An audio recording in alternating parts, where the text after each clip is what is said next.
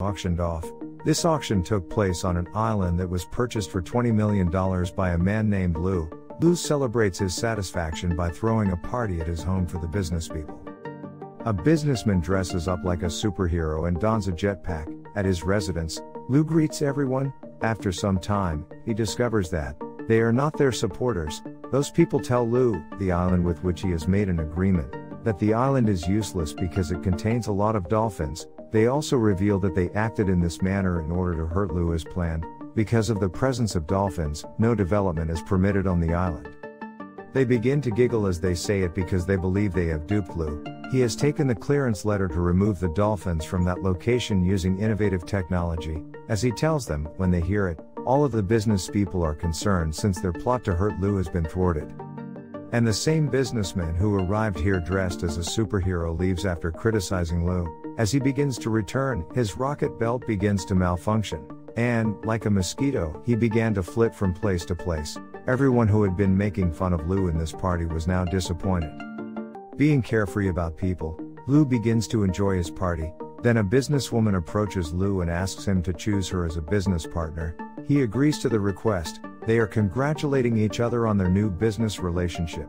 That their party is disrupted by a girl wearing strange makeup. She stated that she wishes to meet Lou. His bodyguards, however, haul her away.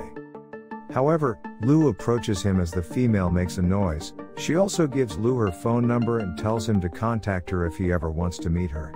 He urges her to go after taking her phone number because this was a really perplexing circumstance. Following then, it is shown that the girl is riding her skateboard to his house. Later, it was discovered that the girl's name was Sean, and that she had arrived at Lou's Island by boat. It had no idea that Sean was a mermaid, and the boat that Sean had used to get here, it entrapped a lot of mermaids. Because Lou had devised a system to keep dolphins off his island, ultrasonic waves were emitted by this device. Because of the ultrasonic vibrations, the dolphins had left the area, many mermaids had died, and survivors were stranded on this boat, trying to save themselves. Octopus, the commander of the mermaids, intends to murder Lou, because his project will come to an end when he dies. Sonars will be removed from the water in this manner, and they will reclaim their residence. They chose Sean, the most attractive mermaid in their bunch, to carry out their duty, after entrapping Lou, who can murder him.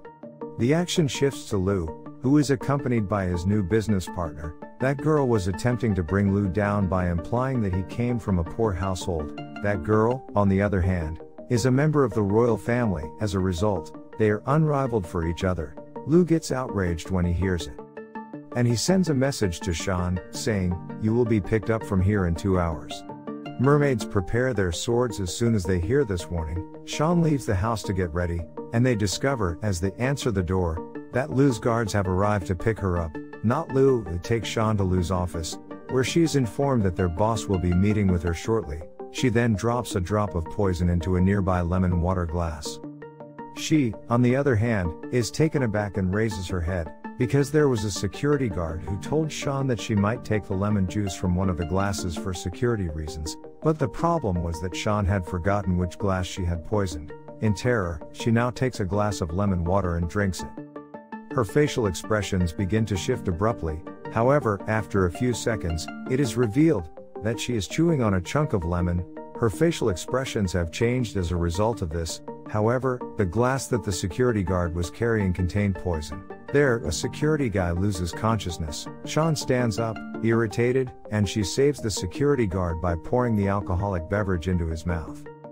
In the meantime, Sean observes Lou and begins to pursue him. As a result, she may decide to go after his victim. She was about to use her sea urchin to attack Lou. Despite hitting Lou, the clock is struck on her head. Lou had hurled it at a safe distance in wrath.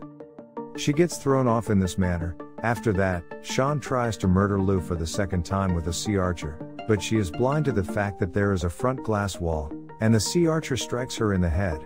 But Sean refuses to accept her defeat and attacks Lou with a sea urchin from behind the door once more because to the opening of the door, Sea Urchin is attached to her face at this moment. Because of that Sea Urchin, her own body was now becoming poisoned. She, on the other hand, was determined to complete her mission at all costs. As a result, she strikes Lou while hiding under the table. Here, Lou begins to dance. As a result, Sean's attacks are all missed.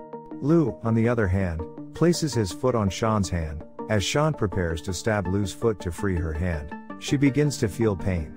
Lou lifts his foot right away. Her own hand is injured as a result of this. Sean was fed up with it, and she was enraged as well. Then she uses her flying abilities to strike Lou. Lou's golf stick smacks her in the face, knocking her out. When Lou saw an unconscious girl behind him, he was terrified. But it didn't take long for Lou to become upset, so he pays a large sum of money to Sean in order for her to leave him. But Sean tells Lou that he doesn't need your money at all. Hearing it, Lou is perplexed and asks her, Who are you? Why are you after me if I've never met you? He's on his way out of here, abandoning Sean, he abruptly reverses direction and begins to treat Sean as if she were his lover. As that business buddy approaches Lou, it becomes clear that he is feigning envy for that female. Lou then walks away, bringing Sean with him, both are now seen in a vehicle, where Sean senses Lou's hunger and guides him to a street diner. First and foremost, Lou feels enraged and refuses to eat at this location, but, because he had a strong hunger, they both began to eat at this location. After eating, Lou becomes unexpectedly sentimental. And, when Sean inquires, he says, they were quite poor in his boyhood, and they used to take such a supper after stealing. He informs Sean that on that day, he promised himself that he would be the wealthiest man in the city. You are at fault in this case, says Sean, because money isn't everything. She expresses herself in a few impassioned lines, as a result, Lou feels ecstatic. He now signs a $1 million check for Sean, on the other hand, burns the check and tells him, she doesn't need this check, she doesn't care about money. She explains, I am with you for this purpose because I care about you. With that, Sean begins to sing for Lou. Lou notices that Lou and Sean's singing styles are similar, so Lou joins in. Suddenly, Sean begins to sing a song in her mermaid voice. As a result, everything made of glass is cracked. Lou's phony mustaches are also removed. After that, Lou and Sean have a great time. Now Lou arrives to deliver Sean to her home. Sean's family was on the verge of assassinating Lou. Now that Sean had grown to like Lou, she did not want me people to harm her. Sean was desperate to save Lou, so she stripped down to her underwear. As a result, Lou will be able to see that she is a mermaid. However, owing of the darkness, nothing was visible to Lou, He says, Now that we've moved into the house, we'll be able to see what you want to display. Sean smiles as he enters the house and locks the door behind him. Because she understood that if Lou entered the house, he would become a target at Sean's house. Octopus was enraged because their prey had slipped from their grasp. When Lou calls Sean and says, he wants to meet her again. Then everyone becomes enthralled once more and begins to sloganize Lou's death. Sean brings Lou to a restaurant on the second day. Octopus is present as a chef since he does not want to miss his objective at this time, and he'd come here after preparing to assassinate Lou here. Before attempting to assassinate Lou, he brings a large number of bodyguards here, and their plot has been revealed. Now Octopus had no choice but to demonstrate that his tentacles were phony. As a result, the other cooks start cutting his other tentacles. He also sets his tentacles on fire in order to prove that his deception is true. He was in a lot of agony as a result of this, so he was making the oddest expressions. Lou considered it to be a necessary aspect of his performance. When Octopus loses control of the situation, he flees, spilling the black goo from his mouth. Sean tells everyone to deal with the circumstance because it's part of his acting. Lou proposes to Sean, saying, It is that one of a kind activity, which is the best thing that is going on in his life. But Sean refuses to accept it, telling Lou that she has come here to kill him and not for any other reason. Meanwhile, Lou's business associate arrives. As a result, Sean and Lou leave this location.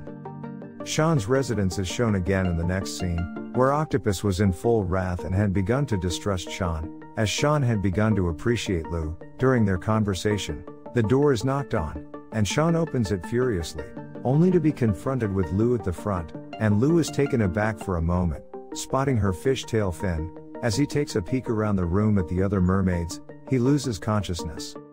When Lou regains consciousness, he sees the mermaids who were damaged as a result of his sonar, An Octopus was about to kill him, but Lou begs him to give him a chance while crying. As a result, such sonars may be turned off. I had no clue these sonars could be so dangerous, he says, but Octopus isn't about to let him go, so he starts choking him with his tentacles. However, in order to save her friend's life, Sean chops her leader Octopus tentacle. As a result, Lou has a chance to get out of here. Lou travels to the police station after escaping from here. However, no one believes his account. They also make fun of him. Lou returns to his workplace, dissatisfied with his situation, and he tells doctors that he wants to look into the sonar on his own. As soon as the sonar is turned on, he starts to experience a lot of discomfort. Only 10% of sonars were used, according to the doctors, and he was well aware that sonar is extremely dangerous. As a result, he chooses to remove the sonars from the ocean. Why did your strategy alter so quickly? asks Lou's business partner. Simultaneously, he gives her the entire mermaid story. That girl, on the other hand, is not surprised when she hears it because her company is already working on mermaids, and they've been looking for mermaids for a long time. That girl tells Lou, their company will benefit much if they find alive mermaids, but Lou has no intention of harming mermaids, so he approaches Sean right away. However, when she does not answer his call, he decides to drive to her house. Before Lou arrives, Lou's partner arrives at that boat and takes her soldiers. That girl had dispatched a large number of soldiers to capture mermaids. When those soldiers board the boat, they discover it is empty. As they move deeper underwater, they discover that all mermaids are hiding there, and they start shooting the mermaids viciously with their firearms. As the mermaids are hit by firearms, the water begins to become red and lose its clarity. To get away from the gunfire, the mermaids move out of the water. They suffocate them in the bags while cruelly killing them. They're nothing more than fish. Now Sean emerges from the sea and lands atop the soldiers, fighting with them, but Octopus saves him from the soldiers before they can hurt her. He also uses his tentacles to try to throw her out of the boat. Soldiers, on the other hand, laid traps out of the boat before Sean emerges. As a result, she returns to the boat. They may assassinate Sean first. They are carried away by a large surge of water. This is the elderly mermaid, who was producing waves in the sea with her massive fins. With these waves, she was attacking the humans. Now, from behind, a soldier attacks the mermaid from a safe distance. As a result, she dives into the ocean, sonars aren't working, she realizes here, she also commands the mermaids to enter the water. Many mermaids have been able to survive this manner. They attack Sean as they move into the ocean. Despite the attack, she was swimming quickly in the water and conserving her energy. However, from the helicopter, Lou's business partner strikes Sean. There is an explosion in the water as a result of this. On the other hand, Lou, who was stuck in traffic, is visible. He also wanted to get in touch with Sean as soon as possible. Lou's colleague gives the order to assassinate Sean, who was out of place in this location. In the midst of the gridlock, Lou notices his business rival, who was spotted in a jetpack at the beginning of the film. Before his business associate harms Sean, Lou arrives in a jetpack of his business opponent like a hero. He makes an attempt to save his friend. However, Lou's business partner attacks him as well. Despite the arrow shot in his body, he abandons Sean in the water. And he himself plummets to the ground. Meanwhile, the cops come, while altering the scene from here. Lou is shown at his house once more. A reporter had arrived to interview Lou. Who was it from Lou who inquired about mermaids? Lou bursts out laughing, and tells him that mermaids